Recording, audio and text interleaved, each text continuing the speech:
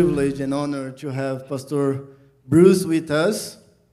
And uh, uh, part of our mission month is to interviewing, you know, uh, missionaries and or or people in the church and and um, seeking for opportunities and how to serve the Lord better and how to bless the communities around us.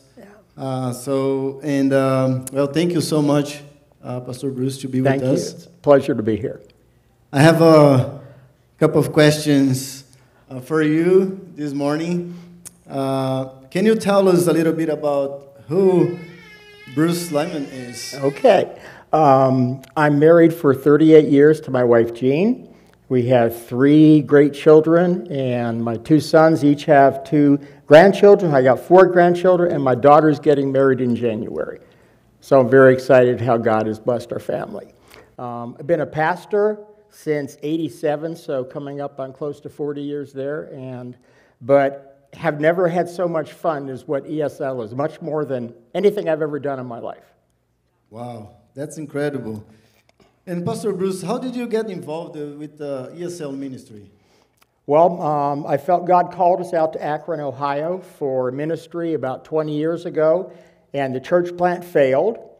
I said, What do I do now? And, but God used that to get me in a place where there was huge diversity. I'd grown up in white churches my whole life, and here in um, Akron, there were, we had 62 different countries part of our ESL ministry.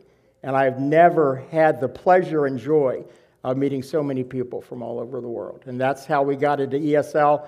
My wife wanted to do something, and she went to a ministry, and I got jealous um, and started uh, being a part of that. And we started at our church. So that was kind of a really blessing of a travel to get there. To, I finally realized that what I was supposed to do when I grew up at 58. So, yeah, I know.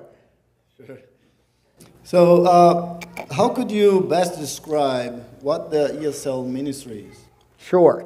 Well, first, ESL, we use ESL because it's the most readily understood and acknowledged. When you come to the country, you look ESL.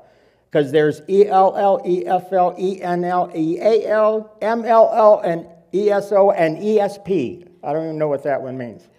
But there's all these different things. Um, but really, what ESL is all about is allowing a place for people that don't understand English to feel safe to make mistakes as they learn.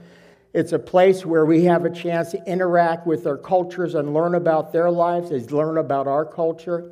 And most importantly, it's a place where we can share our testimonies and share our lives and share Jesus in a way that is so helpful to them because they're looking for English, they're looking for American friends, and they're going to churches to find them.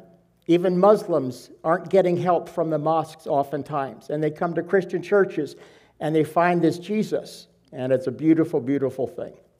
Wow.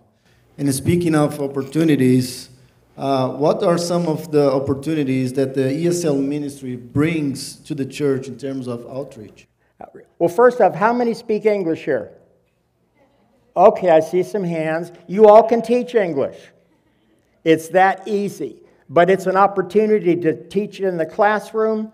There's opportunities for people to come and do snacks and interact with the students if they can't come all the time. Do tutoring for the students. And that, when you do childcare for a, for a student, they'll listen to their child screaming because they want ESL. They want to learn English and they trust the people that are taking care of their kids.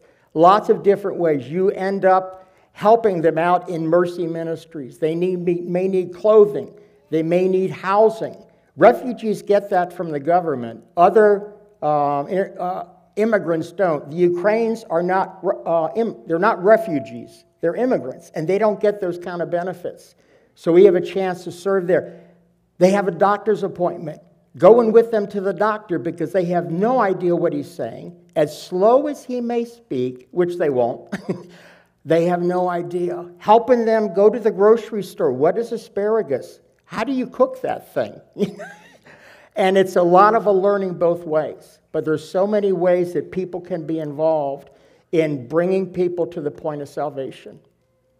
Amen. Amen. So, there is any advice you can give to the church uh, to run a great uh, ESL ministry? Um, I was talking to Debbie earlier and said you're thinking about doing a morning. One of the most effective ways to do English is have a morning uh, classes with childcare. There are so many young moms coming to America without grandma, mom, everybody else having babies in a strange land where they don't speak your English. I cannot comprehend being in a hospital like that. But that's a wonderful way to do that. Just praying for the body, praying for those that are teaching. Um, I know prayer is important here in this church. So just coming alongside people in prayer. Um, I used and playing with the kids. I used to have a two-year-old Japanese boys club. We have a lot of Japanese students in Akron, and the two-year-olds that came in because of morning classes, I just began a friendship with, and they were running around me, and the moms knew that our church loved them because we ministered to their kids. So those are just a couple of things. Um, it's a chance to serve people in the community that nobody, nobody's looking out for. And you have a chance to interact with them and see how can we find people that need English and need Jesus.